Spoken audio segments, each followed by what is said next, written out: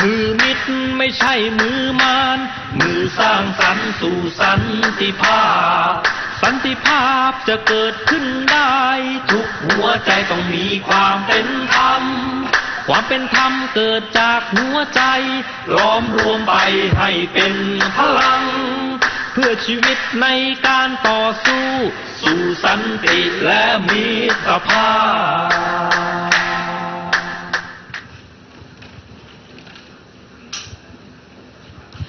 สวัสดีค่ะ ขอต้อนรับมวลมหาประชาชนเข้าสู่รายการศิลปะดนตรีกวีประชาชนค่ะ โอ้โห ยังล้นหลามอยู่นะคะ ยังให้กำลังใจกันอยู่ทุกคืนนะคะ ทุกค่ำคืนเวลาตีสามครึ่งนะคะจนกระทั่งถึงตีสี่นะคะแล้วก็รายการของเราในช่วงเวลาแบบนี้เนี่ยนะคะ เราเหมือนเป็นญาติสนิทกันเลยจริง ๆนะคะ เอ่อเรียกได้ว่าพอเรามาปุ๊บเนี่ยเราก็จะเหมือนกับมีนัดกัน แล้วก็มีสมาธิมากนะคะ มากกว่าตอนช่วงกลางวันนะคะ แล้วก็ช่วงตอนดึกๆ ช่วงตอนกลางคืนแบบนี้เนี่ยนะคะ ก็จะมีเอ่อความรักความสามัคคีนะคะแน่นแคว้นกันมากขึ้น เพราะว่าเราได้ใช้สมาธิในการที่พูดคุยกันด้วยนะคะสำเอ่อสำหรับวันนี้นะคะเราก็จะมีดนตรีประกอบการพูดด้วย นะคะวันนี้นะคะเป็นอีกหนึ่งวันของอรายการศิลปะดนตรีกวีประชาชนที่อยากให้พ่อแม่พี่น้องได้ติดตามรับฟังกัน แล้วก็รับชมกันนะคะส่วนตัวดิฉันเองนี่ก็อาจจะรับชมรับฟังบ้าง เพราะว่าโดยปกติก็จัดจัดรายการวิทยุไปด้วยนะคะนะคะก็จะใช้วิธีพูดแบบคุณผู้ฟังบ้างอะไรบ้างนะคะ ก็ ผิดพลาดประการใดก็ขออภัยด้วย วันนี้นะคะ ใครที่เหนียวแน่นประเภทที่เรียกได้ว่าตั้งแต่สามเสนนะคะ31ตุลาคม 2556 นะคะ จนกระทั่งมาถึงวันนี้เนี่ยนะคะ ต้องรู้จักวงนี้ดี แขกรับเชิญของเราวันนี้เนี่ยนะคะ มีความพิเศษมาก ๆ เรียกได้ว่าเป็น นักดนตรีเป็นศิลปินประจำหมู่บ้านของผู้ใหญ่ตาลเลยก็ว่าได้นะคะเอ่อใครที่เป็นแฟนเพลงเหนียวแน่นที่อยู่ราชดำเนินเนี่ยนะคะตอนประมาณสักตีห้าเนี่ยนะคะไม่เหงานะคะถึงแม้ว่าจะไม่ได้ออกอากาศนะคะแต่ว่าเหมือนกับว่าวงดนตรีวงนี้จะต้องดูแล มีหน้าที่ที่จะดูแลผู้ที่มาชุมนุมมวลมหาประชาชนที่อยู่ด้านหน้าเวทีด้วยวันนี้ อ่อสวัสดีพี่ไก่ค่ะ ครับ สวัสดีครับ สวัสดีครับ ท่านผู้ฟังวันนี้มาเป็นผู้ถูกสัมภาษณ์นะครับ วันนี้พี่ไก่มาถูกสัมภาษณ์นะคะ เพราะว่าวงที่ตัวที่ฉันเองได้กล่าวถึงอยู่นั้นเนี่ยนะคะ ก็คือวงราชดำเนินนั่นเองนะคะ เป็นวงที่ใหญ่ที่สุดเลยมีนะคะมีสมาชิกมีเคยสมาชิกแล้วประมาณ 16ถึง17 คน บางครั้งที่ถึเคงยยี่ขึ้นสิบมาบนนะคะเวทีที่บางเคยครั้งถึงยี่สิบถึง20ก็มีฮะที่ขึ้นมาบนเวทีนะคะ เดี๋ยวเราจะได้ทราบกันนะคะว่า ที่มาที่ไปของวงราชดำเนิน เป็นมาเป็นไปอย่างไรแล้วทำไมถึงมาเป็นราชดำเนินที่ใหญ่มากเลยเป็นเหมือนอย่างกับว่าเป็นบ้านหลังใหญ่เลยทีเดียว แล้วก็ทำไมถึงได้เป็นวงดนตรีที่เป็นลูกบ้านของผู้ใหญ่ตาลนะครัคะบผู้ใหญ่ตาลอยู่ที่ไหนวงราชดำเนินก็จะอยู่ที่นั่นน่ะนะคะเอ่อสมาชิกไม่ทราบว่า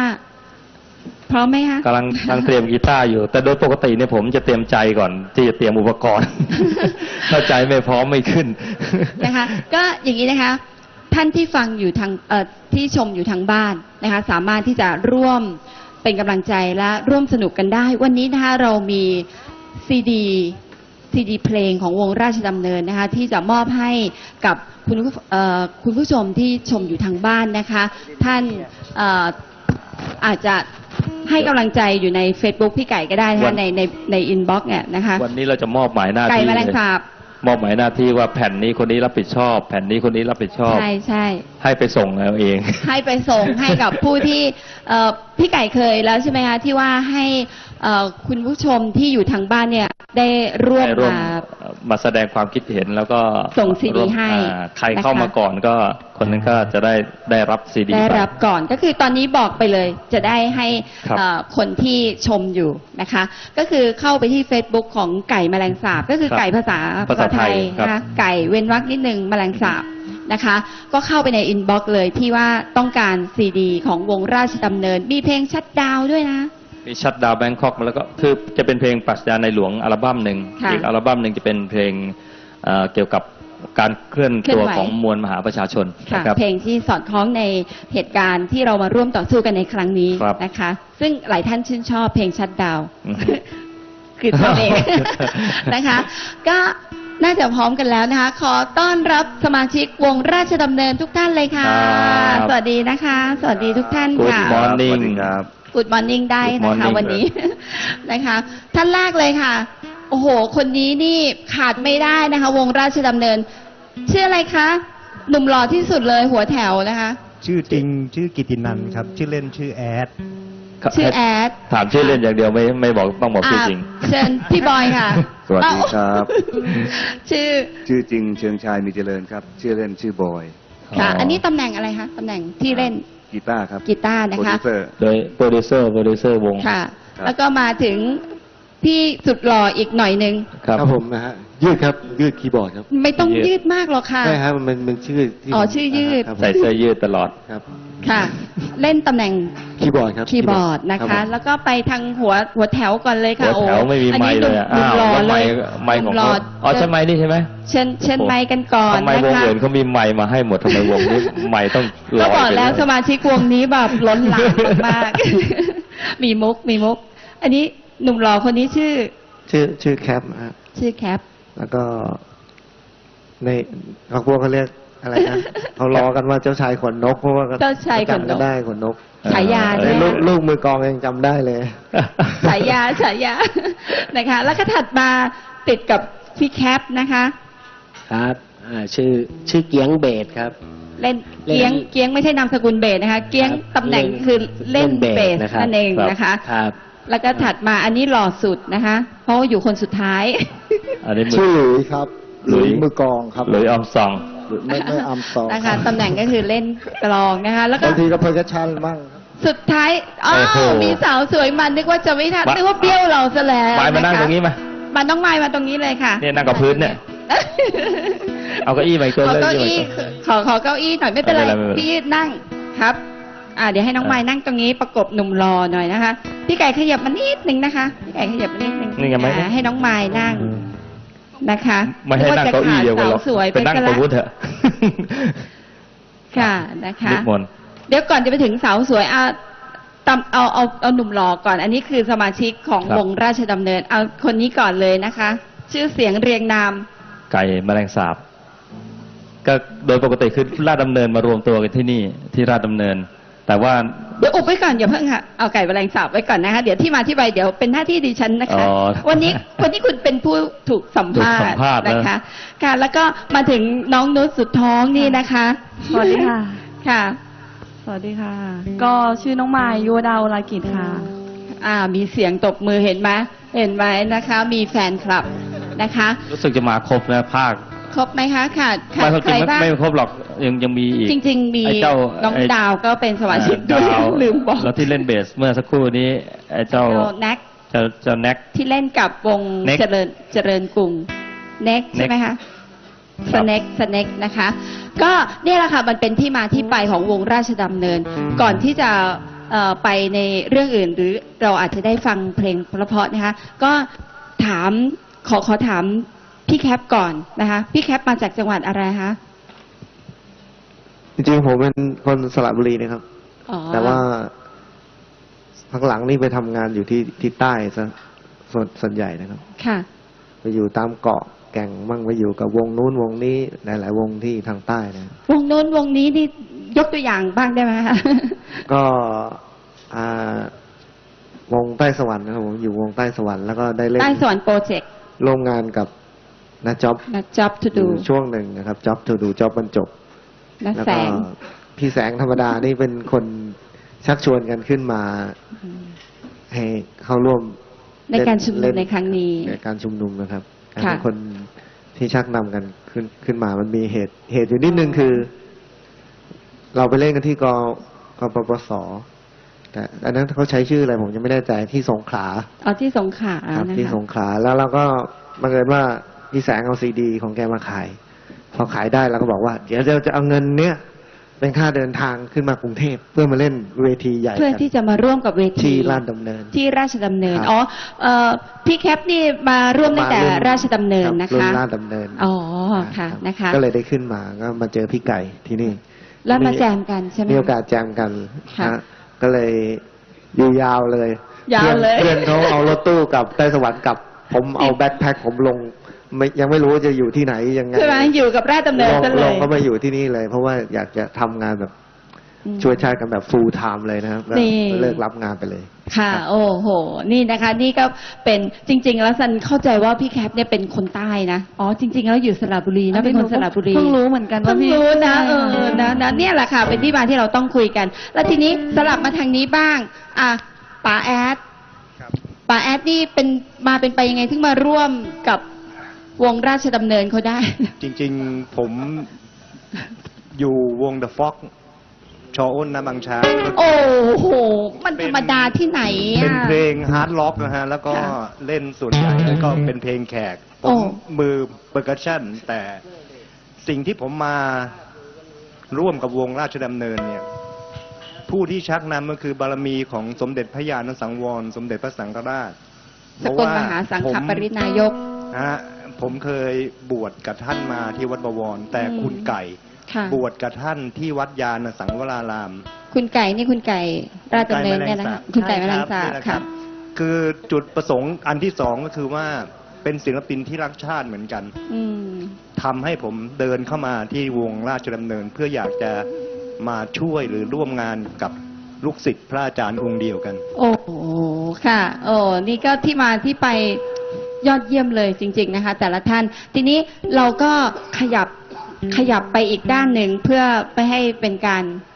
เสียเวลาไปที่พี่เกียง พี่เกียงครับผมอ่า พี่เกียงยังไงถึงมาร่วมกับราชดำเนินค่ะ ให้เวลาครึ่งนาที โอ้โห ไวเหลือเกินเอาเอา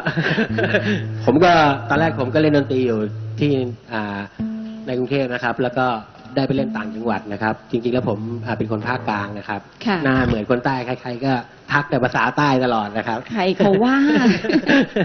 นะคะก็ก็ได้ได้ได้ไปเล่นอ่าที่ทั้งเชียงใหม่ทั้งลงใต้อะไรอย่างนี้ก็รู้จักกันนะแสงนะครับ ก็เคยค่ะไปเล่นให้นะแสงอยู่ประมาณปีกว่าๆนะครับโอ้ไปเป็นแบ็กอัมให้เขานะครับ ค่ะ แล้วก็ที่มาที่นี่ได้เพราะว่าพี่หลุยนะครับ ก็ชักชวนกันมานะครับอ้าวมีมีหัวหน้า อ่าหัวหน้าตมแก๊งตามพี่หลุยมานะครับ ค่ะอ๋อตามพี่หลุยมาเนาะครับ สรุปแล้วนะคะ เอ่อทีนี้พูดถึงพี่หลุยก็เอาตรงพี่หลุยก่อนเลยอ่าพี่หลุยเลย นะคะพี่หลุยพี่หลุยเล่นตำแหน่งกลองครับผม ค่ะ ที่มาที่ไปก็ อย่าบอกมาจากบ้านไม่ได้ มาคือเป็นมือกลองของวงไทรากูลไทอรายู่กูลครับผมค่ะ อยู่กับพี่ติ๊กไทรากูลครับค่ะ อะพี่เกียงด้วยครับพี่เกียงด้วยค่ะพี่เกียงมาด้วนะคะ รับผมค่ะพี่เกียงด้วยแล้วใต้สวรรค์ด้วยครับผม ค่ะก็คือใต้จะสอวรรยู่ค์ ในรุ่นแรก ๆ ของ ไทรากูลแล้วก็ใต้สวรรค์ค่ะ ตั้งแต่ยังไม่แยกกันออกไปนะครับ ค่ะ ตอนนี้ก็ยังไม่แยกนะ ก็ทำงานโปรเจกต์เดียวกันครับผมแยกจากการทำงานแต่หัวใจไม่ได้แยกกันนะเดียวกันเลยครับ สีเดียวกันเลยครับ ใช่ใช่เอ่อได้ข่าวว่าพี่ติ๊กจะมาร่วมในเร็วนี้นะครับผมในเร็ววันครับผมนี้ แล้วก็จะนำพานักจ็อบทูดูมาด้วย โอ้โหใครที่ชื่นชอบ พี่ติ๊กจะเป็นคนประสานงานให้ครับ ตอนนี้พี่ติ๊กค่ะ ประสานงานให้อยู่ครับผม ดีมากเลยค่ะ แต่รู้สึกว่าพี่ติ๊กโทรมาสนสันไม่ได้รับสายเดี๋ยว พี่ติ๊กดูอยู่นะคะ เดี๋ยวนะครับเดี๋ยว ผมจัดการให้แล้วนะครับพี่ติ๊กตอนนี้ก็เป็นหน้าที่ของพี่สันครับแล้วกัค่ะนนะคะก็นี่คือที่มาที่ไปของของพี่หลุยนะคะพี่หลุยวงไทยลากูลนะคะจากไทยลากูลก็มาเป็นวงราชดำเนินตอนนี้ ตอนนี้นะทุกท่านที่นั่งอยู่นี่วงราชดำเนินหมดเลย เรากลับมาฝั่งนี้บ้างนะคะ มาทางหนุ่มหล่ออีกท่านหนึ่งนะคะ พี่บอยครับ สนะวัสคะดีครับ ค่ะ ใครเป็นคนที่บังคับพี่มา คุณไก่แมลงสาบครับบังคับไหมบังคับเขาไหมไม่ได้บังคับครับค่ะคือมีอุดมการณ์เดียวกัน ค่ะ และทำงานร่วมกันอยู่แล้ว ค่ะ แล้วก็มีหัวใจที่จะมาช่วยชาติอยู่แล้วใช่ใช่นะคะใช่เลยเอ่อปรึกษาอาจารย์ธนิตศรีกินดียังคะพอปรึกษาแล้วครับ แกแกบอกให้ตะไก่ไล่ผมออกทุกวันเลยเนื่องจากว่าพี่มาอบยู่อวยงลาดดำเนินนี่ งานไม่กระเตื้องเลยค่ะพี่บอยเขานี่เป็เป็นนโปรดิวของอาจารย์อาจารย์ธนิตศรีกลิ่นดีใช่ครับนะคะทำงานดนตรีก็ใช่ครับก็เอ่ออยู่เบื้องหลังความสำเร็จของศิลปินดังๆหลายคนคอรับย่างเช่น แช่มจำลำหัวใจมักค่ะง่ายค่ะเพลงรักเขาทำไมของนางหงาคาราวานค่ะอ๋อหรือเพลงละครก็สาวนักกาเฟ่จอยศิริลักษณ์อ๋ออ๋อค่ะค่ะพวก ปิดทองหลังผ้าอยู่ปิดข้างหทลัองง หลังพระดีแล้วงั้นปิดต่อไป พวกเราต้องทำอย่างนี้ นะคะ ไม่จำเป็นว่าจะต้องไปออกหน้าอะไรเนาะพี่บอยเนาะใช่การทำความดีใช่เนี่ยไม่จำเป็นว่าจะต้องให้ใครเห็นหรอกถูกต้องนะคะครับถูกต้องเรารู้อยู่ในใจของเราก็พอแล้วใช่นะคะ นี่นี่คืออุดมการณ์ที่พวกเรามาหลอมรวมกันได้ ก็เนื่องจากใช่ครับ ว่าเราไม่ต้องการทำงานแบบเอาหน้ากัน คือใช่คือไอ้ถูกสิ่งต้องครับ ดีๆเหล่านี้เวลามันทำไปเรื่อยๆเหมือนเหมือนน้ำอะหยอดไปเรื่อยๆพอเต็มตุ่มมันล้นออกมาก็เห็นเอง เห็นใช่เองไม่จำเป็นต้องบอกเฮ้ยพอทำแล้วต้องเห็นเลย ใช่ ใช่ ต้องเปิดเผยเลย อันนี้ไม่ต้ค่ออยงๆอ้างทำไปไม่ต้องอ้างอะไร ครับ ค่ะดีมากเลย นี่ก็อาจารย์ธนิต ก็แอบกระซิบซันเหมือนกันว่าให้ไล่พี่บอยออกจากวงสักทีหนึ่งจะได้ทำงานให้ฉันบ้างนะคะ พี่บอยบอกอุตส่าห์หนีมาขึ้นเวทีแล้วยังเจออาจารย์ธนิตอีกอุตส่าห์หนีมาเลยมาเจอแกอีกทุกวัน ค่ะนะคะ แล้วก็มาถึงพี่ยืดครับผมค่ะ พี่ยืดคะพี่ยืดอยู่วงอะไรมาก่อนคะนี่เป็นเจ้าของคาเฟ่มั้งเนี่ยเจ้าของคาเฟ่เลยนะเนี่ยทำเป็นเล่นไปนี่เป็นเป็นแบบอาเฮียเลยนะเนี่ยหลายโอ้โหมันหลายวงอะครับผมหลายวงหลายเนาะวงมากตั้งแต่สมัยนู้นตั้งแต่เล่นตั้ง แต่ตุแต่เล่นกับพี่หลุยฮะสมัยก่อนนู้นนะฮะกับพี่หลุย ครับผมโอ้พี่หลุยนี่หัวหน้าแก๊งจริงแล้วไปเขาตกใจกันมากเลยเขามาเจอกันที่เนี่ยที่ราชดำเนินใช่ใช่ผมมาเจอกันได้ยังครับไงผมอยู่วงนี้ผมมาเจอที่ราชดำเนินเจอพี่หลุย20ปีเล่นกับพี่ไก่อยู่ๆตกยี่ใจสิบเลยปีประมาณยี่สิบปี ไม่ใช่ครับ ผมรุ่นเดียวบอดี้สแลมนะฮะผมโอ้โอ้โหพี่ตูนน่ะเหรอ ครับผมรุ่นเดียวกันเลยรุ่นเดียวกันเพื่อนๆแต่ว่าคนละวง ครับผม นะคะพี่ยืดพี่ยืดมีอุดมการณ์ยังไง หรือว่าทำไมถึงมาอยู่ร่วมกับอ๋อ วงราชดำเนินจนปัจจุบันนี้เลยคะ ก็มาจากเอ่อในเพื่อนในกลุ่ม Facebook เนี่ยฮะค่ะอใจใจเราอยากจะจะมาอยู่แล้ว ค่ะ แล้วมีเพื่อนในกลุ่มว่าเฮ้ยมาเดี๋ยวต้องมามาที่ที่เนี้ยค่ะ มามาเล่นอย่างเงี้ยแล้วมันจะอย่างเงี้ยไม่รู้คุณจะอาจจะไม่มีตังค์อาจจะไม่ได้ตังค์หรือ ค่ะ หรืออะไรก็ไม่รู้แต่ว่าคุณมาอย่างเงี้ยมาเล่นค่ะ ให้กับพี่น้องอย่างเงี้ย สรุปก็ไม่ได้ตังค์ถูกไหมคะ แต่ก็มา ใช่ใช่แต่ก็มา แต่ก็มา เพราะว่าพอมาถึงปุ๊บเราก็รู้สึกว่าแบบ คือใจอยากจะมาอยู่แล้วครับค่ะอยากจะมาที่จะมาช่วยมาช่วย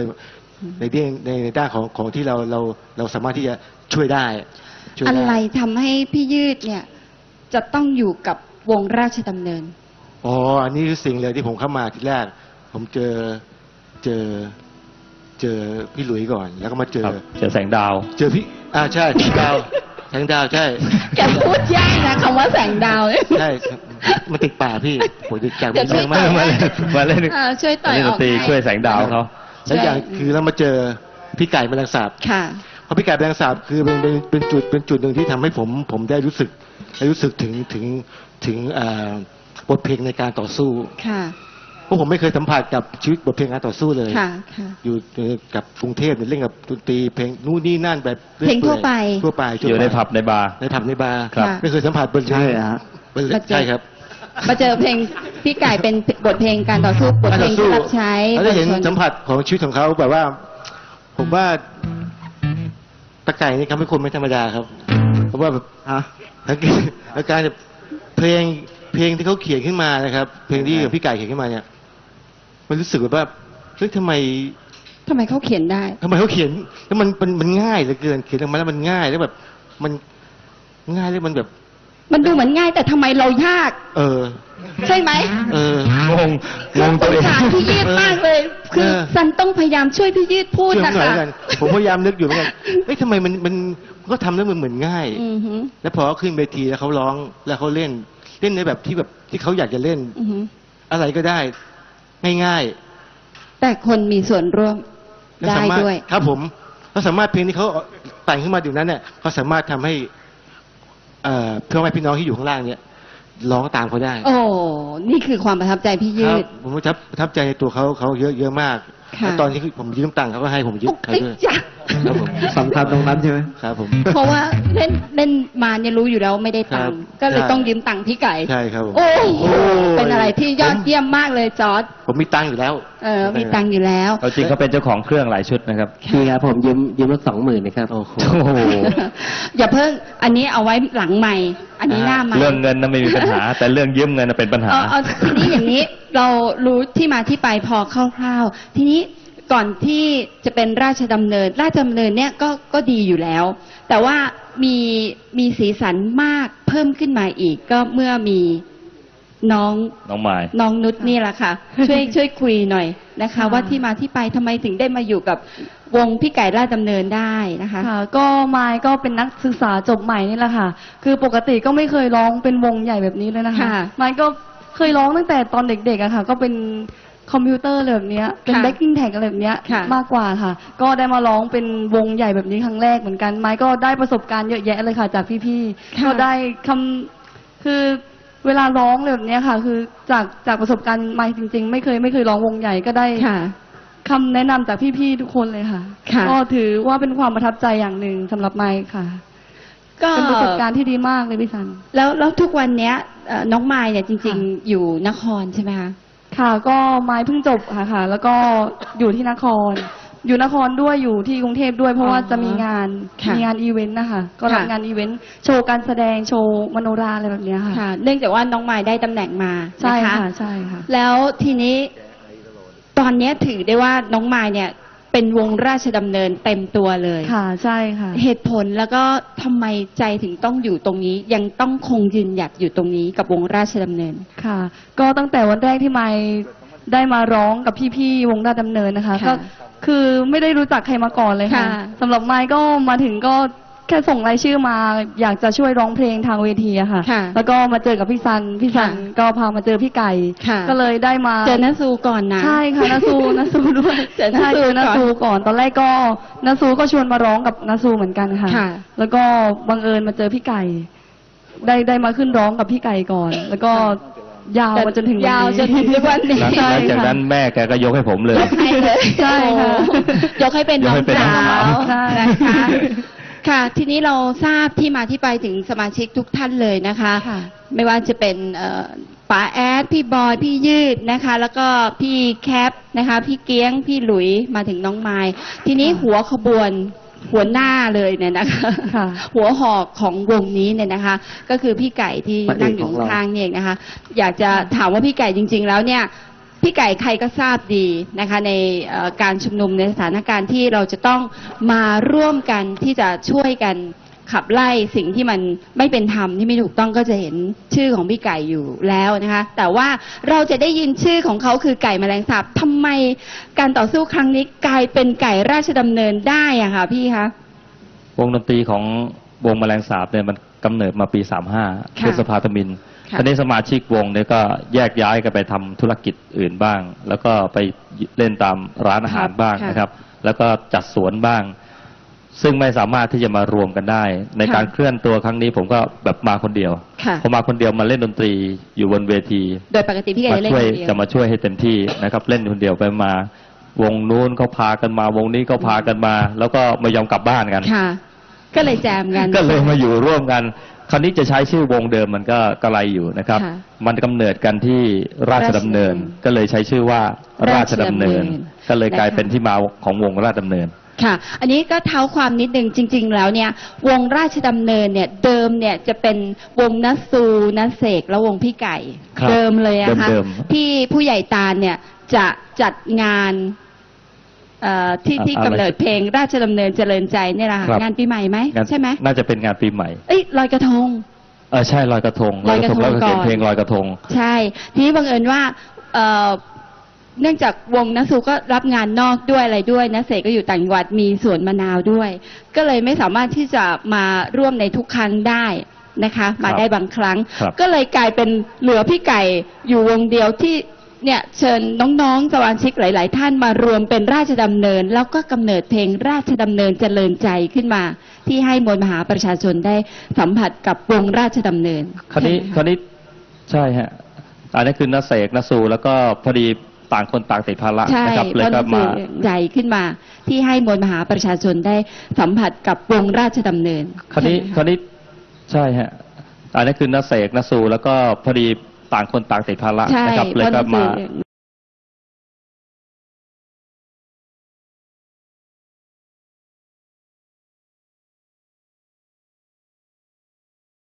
ใครก็ได้สามารถครับที่จะมาร่วมเป็นวงราชดำเนินได้ตากล้องนี่ก็ใช่ค่ะพี่กรณ์ที่คุมไฟนั่นก็ใช่นะครับ เป็นส่วนหนึ่งของราชดำเนินนั่งอยู่ด้านหน้านี่ก็นะครับคือพี่ต้าเอาไปไหนแล้วล่ะพิตาอยู่ข้างล่างพี่ต้าวิภาวดีนั่นก็ใช่ราชดำเนินพอขึ้นมาร่วมกันนะครับค่ะ อันนี้ก็อยากให้ความหมายของราชดำเนินเนี่ยราชะราชาราชราชาดำเนินค่ะนะครับ ความยิ่งใหญ่ที่จะต้องดำเนินไปเพื่อค่ะชาติเพื่อประชาชนค่ะนะครับโอ้ความหมายดีครับนะคะ แล้วก็ทีนี้เอ่ออย่างน้อยเนี่ยมันก็เอ่อนอกจากที่เป็นราชดำเนินแล้วนะคะ แล้วก็หลังจากนั้นก็มีเพลงที่ กลายเป็นวงราชดำเนินขึ้นมา อันนี้คือต่อยอดมาด้วยความยิ่งใหญ่เลยทีเดียวจนกระทั่งมีซีดีออกมาเป็นอัลบั้มครับ แจกให้มวลมหาประชาชนด้วครัย บ การทำงานพวกเราเนี่ยยังนั่งคิดอยู่เลยเนี่ยการทำงานพวกเราเป็นลักษณะขึ้นมาสดบนเวที ค่ะ คือสถานการณ์จะต้องตามกันอยู่ตลอดเวลาเหมือนกับว่า เอ๊ะในขณะที่ แคปบอกว่าเราคุยกันสัมภาษณ์กันพี่ก็เขียนเพลงไปเลยสิ อืม ในขณะที่กำลังตั้งเก้าอี้อยู่ผมก็เขียนเพลงไปแล้วในในความพิเศษใช่ไหมคะใช่แล้วมันเป็นลักษณะการทำงานของพวกเราณณวันนี้ว่าทำไมถึงต้องเอ่อตามสถานการณ์ แล้วก็เรื่องงานศิลปะจะต้องเคลื่อนให้เร็วทันสถานการณ์นั้นด้วยค่ะนะครับค่ะอย่างเช่นด้านหลังนี่เขียนว่าหนึ่งเดียวคือแผ่นดินไทย ใช่พี่ไก่ก็จะเอาแต่จะต้องเอาตรงนี้มา มันเหมือนกับ wording มา ค่ะ มาเขียน แต่ความจริงมันไม่ได้คิดคำนี้หรอก เขาคิดมาแต่ว่าเราคิดต่อเราคิดต่อต่อ concept ของมันออกต่อไป concept นะครับ ให้พอพอคนขึ้นมาพูดหนึ่งเดียวคือแผ่นดินไทย รวมแผ่นดินไทยพอพอเพลงหรืองานศิลปะเข้าไปสอดคล้องเนี่ยมันจะทำให้ความแรงของเอ่อสถานการณ์คำนั้นหรือว่าเอ่อบนเวทีนั้นรู้สึกว่ามันสอดคล้องกันมันมันสอจะดคล้องเออมันเหมือนกับกลิ้งกันไปได้เร็วขึ้นค่ะ ได้แรงขึ้นค่ะนะครับโอ้ก็เป็นความสามารถพิเศษของพี่ไก่ ซึ่งหลายท่านที่รู้จักพี่ไก่ก็จะทราบดี ทีนี้เอ่อ ที่มารากจริง ๆ เลยเนี่ยการหลอมรวมมวลมหาประชาชนในครั้งนี้เนี่ยอยากจะบอกพ่อแม่พี่น้องว่านะคะวงแรกนะคะที่ได้ทำการแสดงแล้วก็เล่นเป็นท่านแรกเลย ก็คือวงไม่ใช่วงพี่ไก่แมาลังสาบคนแรกเลยนะคะที่สามเสนนะคะ ไปถึงที่เวทีเนี่ยสองทุ่ม แล้วพี่ไก่เนี่ยได้ ได้ขึ้นร้องเพลงเวทีที่สามเสนในวันแรก 31 ตุลาคม 2556 ตอนตีสามแล้วมั้งตีสามถูกต้องเลยนะคะ นี่คือแต่คือแบบแต่เราเราต้องอดทนไปเพราะว่างานนี้การเคลื่อนไหวแต่ละครั้งเนี่ยมันเป็นเรื่องของการให้ข้อมูลและคำพูดค่ะนะครับ ถ้าเราเกิดว่าเอ้ยทำไมเรามาแล้วไม่ได้เล่นสักทีเฮ้ยน้อยใจกลับบ้าน มันก็ไม่ควรเพราะว่าเวทีนี้มันไม่ใช่เวทีมันไม่ใช่คอนเวสิร์ตทีคอนเสิร์ตมันเป็นเวทีใช่ของการให้ความรู้ของมวลประชาชนใช่นะครับค่ะใช่ที่จะต้องรับความรู้ว่ามันเกิดอะไรขึ้นในประเทศไทยหนึ่งสองสามสี่ใช่ถ้าเราเกิดไปใช่แทรกกลางป้อง แล้วแทรกไม่ตรงเวลาแล้วก็เพลงไม่ตรงอีกครั้นี้ก็จะยุ่งกันไปใหญ่เลยใช่เพราะฉะนั้นใช่เราต้องนั่งเก็บข้อมูลให้ได้มากที่สุดค่ะเพื่อจะเข้าไปเอ่อเขาเรียกว่าไปหลอมให้เป็นหนึ่งเดียวอีกทีหนึ่ง ให้มันสอดคล้องให้สกัอบดคล้องสิ่งกันที่เอ่อนักวิชาการหรือว่ากำลังพูดกันผู้หลักอยู่ผู้ใหญ่ใช่ ที่เขาให้ข้อมูลกันอยู่ ใช่ เพลงมันรับใช้สถานการณ์ใช่ใช่พี่ครับนะคะ ก็เนี่ยอยากจะให้อย่างน้อยเนี่ยศิลปินนะคะ หลาย ๆ ท่านที่บอกว่าบางทีมาแล้วรอนานบ้างไม่ได้ขึ้นบ้างอย่าเพิ่งน้อยใจนะคะ เพราะว่าเวทีเวทีนี้อย่างที่พี่ไก่มันบอกไงนะคะใช่มันไม่ใช่มันไม่เวใช่ทีคอนเสิร์ตเวทีคอนเสิร์ตมันเป็นนะคะ ไม่ใช่แบบการต่อสู้จะมาอะไรแบบ มาโชว์งานของเรามันไม่ใช่ใช่นะครัคะ บเดี๋ยวเราใส่กันเต็มๆไปเลยสนุกสนาน ใช่ นะคะ เพราะฉะนั้นเนี่ยให้เรานึกเสมอว่า เวทีนี้เรามาต่อสู้ เรามาเพื่อมวลมหาประชาชน เรามาเพื่อผ่อนคลาย แล้วก็บรรเทาเอ่อสิ่งที่มันตึงเครียด แล้วก็ทำให้เอ่อได้เอ่อ ผ่อนคลายกันบ้าง ในเพลงที่มันมีเนื้อหาที่สอดคล้องได้ด้วย แล้วก็อาจจะมีเพลงสนุกสนานบ้าง ก็เป็นวาระเป็นโอกาสไปนะคะ แล้ววันนี้เราจะมีโอกาสได้ฟังเพลงของมีราชฟังดำเนินไหมน่าจะเล่นสักเพลงหนึ่งสักเพลงหนึ่งนะแล้วทุกคนก็ยังไม่รู้ด้วยว่าเนื้อหาเป็นยังไงเพราะว่าพี่ไก่เขียนใหม่ใช่ไหมคะ จริงๆ ใช่ไหมคะพี่ไก่ใช่ฮะอ๋อนี่นี่ใหม่อีกแล้วนะคะ ครับบอกสมาชิกทุกท่านนะเขาบคะอกว่า พี่ไก่เขียนใหม่อีกแล้วนะคะ เวลาตั้งเก้าอี้ก็เริ่มเขียนเริ่มเขียนไปเลย ไม่จริง ๆ แล้วผมอยากให้ดูตอนซ้อมด้วยนะ ซ้อมเนี่ยก็ซ้อมบนเวทีนี่แหละดูตอนซ้อมนี่แหละได้ดูแน่นอน พอซ้อมเสร็จแล้วก็เล่นเลย อ่าแต่งั้นคุยก็ไปนะผมเตรียมกีตาร์ของไม้ขาไม้หนึ่งฮะ มันเป็นขั้นตอนการทำงานนะครับอันนี้เป็นเพลงใหม่กันโชว์สดๆเลยว่านะคะ โชว์สดเลยนี่คือเพลเพิ่งงนี้เขียนคือเลยนะคะเพิ่งเขียนเลยถ้ากล้อง เรายังไม่เคยนะคะ ฟังไม่เคยรู้คอนเซปต์ ไม่รู้ว่ามันเป็นอะไร จะต้องใช้ความสามารถพิเศษกันตลอดใช่เวลาด้วยนะครัคะบ สำหรับนักดนตรีนะคะ จะต้องตามให้ได้ว่าพี่ไก่จะมีอะไรมาแล้วจะเป็นใช่จังหวะ เราจต้องไหน รับรับให้มันให้มันสอดคล้องกันด้วยนะ ใช่นะคะนี่คือความสามารถของทุกๆทท่าน ไม่ใช่เฉพาะแต่คนใดคนหนึ่ง อันนี้คือการหลอมรวมกันจริงครับๆนะคะ ไม่ใช่แต่เพียงว่าเรามารวมกันแล้วจะต้องเออเป็นในรูปแบบนั้นแบบนี้ นักดนตรีก็เหมือนกัน จะต้องใช้การที่จะต้องหลอมรวมเป็นหนึ่งเดียวเหมือนกันนะคะ มีวันซ้อมหนักที่สุดก็น่าจะเป็นวันที่พวกเราขึ้นรถรถอ๋อที่ที่เขาไปเดินสามวันติดใช่ไหมคะใช่ครับอ๋อเป็นอันวันั้นนหที่นักพวกสุเราดเลซ้อยมใช่หไหนัมกเพราะเขาเล่นวันหนึ่งประมาณห้าชั่วโมงอย่างอย่างต่ำห้าชั่วโมง แต่ว่าหนักสุดคือวันที่สองสิบสามชั่วโมงหรือเปล่าไม่มีวงมาเลยพวกไม่เรามีวงมาเปลี่ยนวงลาดดำเนินวงเดียวเลยนะเอันละค่ะ ทีนี้เราจะมา มาดูกันเลยนะคะ สดสดๆให้สลับไหมสลับที่ไหมอ๋อพี่ยืดเดี๋ยวพี่หายืดที่อย่าวางอวดวางก้นไม่ได้นะคะ เป็นเพลงที่พี่ไก่เขียนสดๆสดสดๆที่เราจะโชว์สดเลยผมนะบอกคะพี่ไก่เดี๋ยวเราโชว์การทำงานของวงลาดดำเนินให้ อ่า เดี๋ยวดูนะคะพี่นี่น้เราอง พี่แคป ได้ชมกันครับ พี่แคปก็ยังไม่ทราบใช่ไหมคะยังว่าจะเป็นยังไงครับยังอ่าละค่ะ เดี๋ยวเราจะดูความสามารถของวงราชดำเนินนะคะ ว่าจะตามพี่ไก่ได้ยังไงผมจะนคเรียกพี่ไก่ว่า จีกู้ชาตินะฮะเพราะแกจะใช้คอร์ดจีเยอะมาก อ๋องั้นเปลี่ยนเป็นคอร์ดเอฟ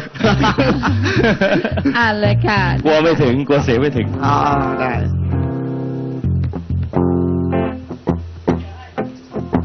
ประมาณนี้นะ แล้วทุกคนก็ไม่รู้ หนึ่งเดียวคือแผ่นดินไทย ฝากกายเอาไว้หนึ่งเดียว หนึ่งใจล้อมรวมกลมเกี่ยว หนึ่งเดียวคือแผ่นดินไทย หนึ่งเดียวคือแผ่นดินไทย ฝากกายเอาไว้หนึ่งเดียว หนึ่งใจล้อมรวมกลมเกลียว หนึ่งเดียวคือแผ่นดินไทย รักและศรัทธา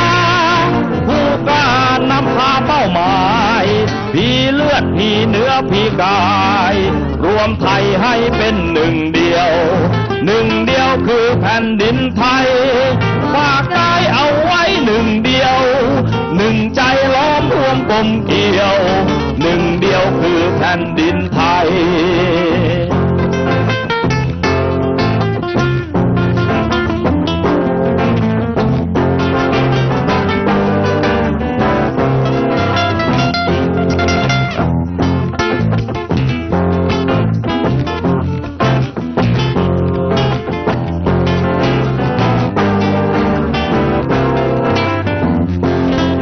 เหมือนเดิมครับ รอบแรกซ้อม เนื่องจากตอนแรกๆทุกคนร้องไม่ได้พอร้องไปสองสามครั้งทุกคนก็จะร้องร่วมกันได้นะครับ เพราะว่าจะใช้คำที่จะไม่ยากนัก วันคันที่วันเนชั่นหนึ่งเดียวคือแผ่นดินไทยฝากกายเอาไว้หนึ่งเดียว หนึ่งใจล้อมรวมกลมเยวคือแผ่นดินไทย หนึ่งเดียวคือแผ่นดินไทยฝากกายเอาไว้หนึ่งเดียว หนึ่งใจล้อมรวมกลมเกลียว หนึ่งเดียวคือแผ่นดินไทย รักและศรัทธาผู้กล้านำพาเป้าหมาย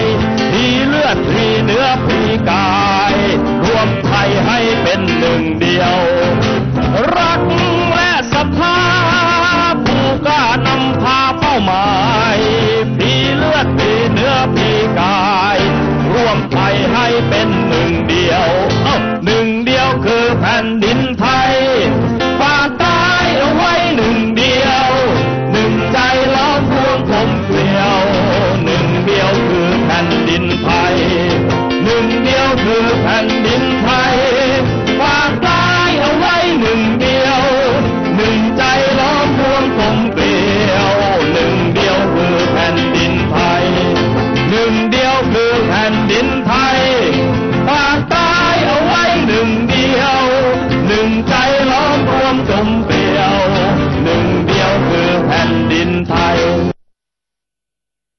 หนึ่งเดียวคือแผ่นดินไทย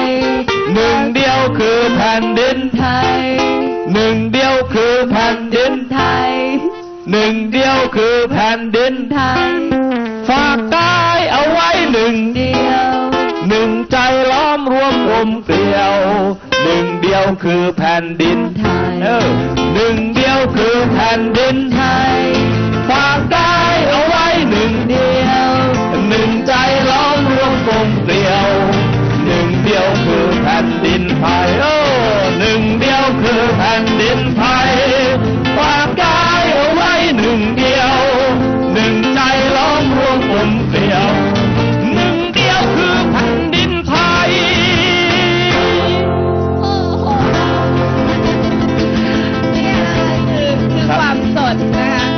มเราจบพร้อมกันรู้ไหมพอขึ้นสูงปุ๊บทุกคนก็จะรู้เลยจบแล้ว ใช่ค่ะจะเป็นจะเป็นสัญญาณบอกมันจะเป็นสัญญาณบอกโดยที่ไม่ต้องบอกให้จบนะจบนะ ใช่ใช่ค่ะ ทุกคนก็จะรู้แล้วเอ้าขึ้นสูงแล้วจบดีกว่า นี่ไม่ค่ะไม่เคยเล่นมาก่อนนะครับเพลงนี้นะครับ ใช่ ก็เพิ่งก็เพิ่งเขียนมาสักครู่แล้วถามน้องไม้น้องไม้เวลาเท่าไหร่น้องไม้บอกเวลา เวลาเท่าไหร่ตีสามใช่ค่ะตีสามห้าสิบตีหรือไง สามหมดหรือยังหมดหรือยังเวลาหมดหรือยังช่วยเช็คหน่อยนะคะ เวลา วงลาดดำเนินนี่น่าจะสักสองวันนะฮะโอ้โหเวลาใช่ไม่พอนะกำลังค่ะ ถ้าเกิดว่าเอาแฟ้มมาเล่นเพลง แฟ้มแรกนี่เป็นเพลงต่อสู้เรื่องการเมืองทั้งหมดนะ อ่า ประมาณ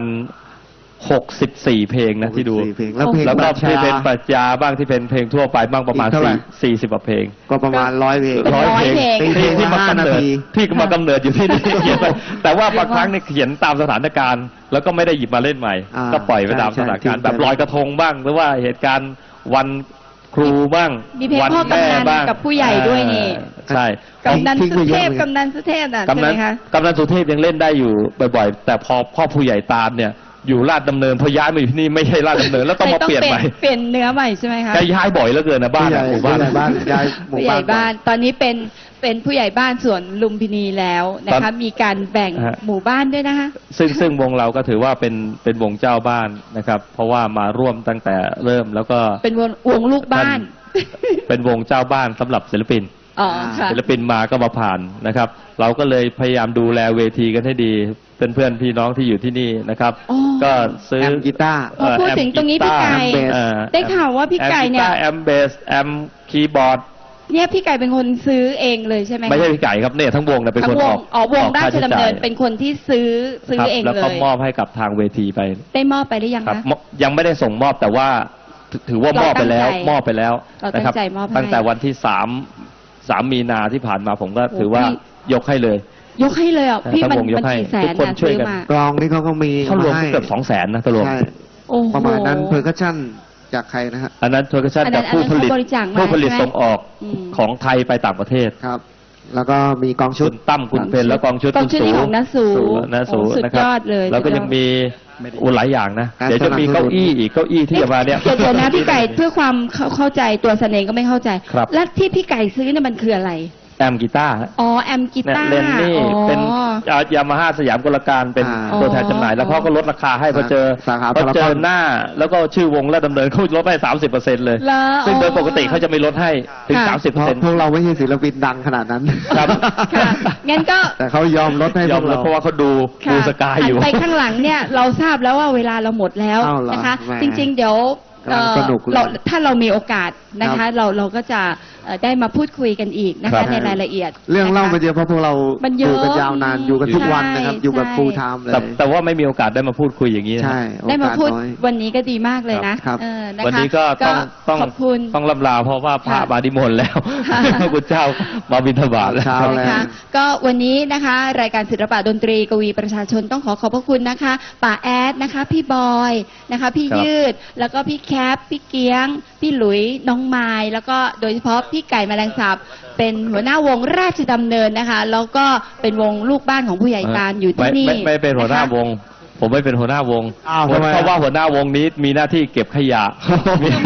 มีหน้าที่เสิร์ฟน้ำนี่หาอาหารหนูให้จะจบแล้วให้กับรายวงการอะพี่อย่าขัดหนูดิหนูจะจบรายการแล้วผมเลยไม่เป็น เอาไว้ ลาออกจากหัวหน้าวงครั้งนี้ไม่เก็บอะไรเลย เอาไว้คุยกันในโอกาสหน้านะคะสำหรับคุณผู้ชมที่ชมอยู่ทางบ้านนะคะ สามารถที่จะเข้ามาใน Facebook ของพี่ไก่ได้นะคะ เข้ามาในเอ่อข้อครับความกล่องข้อความของพี่ไก่นะคะ เดี๋ยวพี่ไก่จะแจกแจก CD ซีดีวงเอ่อราชดำเนินสองให้นะคะแผ่นมีเพลงชัดดาวน์ด้วยมีเพลงปรัชญาพระเจ้าอยู่หัวด้วยนะคะ ยี่สิบคน ค่ะจะสำหรับส่งฟรีสำหรับในช่วงนี้นะคะ เดี๋ยวต่อไปเราจะรายการปิดกินเวกินเวลาเขาไม่ครับดีได้ได้ นะคะนะคะ ก็ขอให้ทุกท่านนะคะ ได้ติดตามรับชมรายการศิลปะดนตรีกวีประชาชนได้ใหม่ในวันเอ่อถัดไปในวันพรุ่งนี้นะคะ ทุกๆวันเวลาตีสามครึ่งนะคะสำหรับวันนี้พวกเราทุกคนนะคะต้องขอกล่าวคำว่า สวัสดีค่ะ ปิดกรุงเทพ ไล่ยิ่งรักษณ์คนคือคักชัดดาวบางกอกแค่นี้พอ เดี๋ยวผม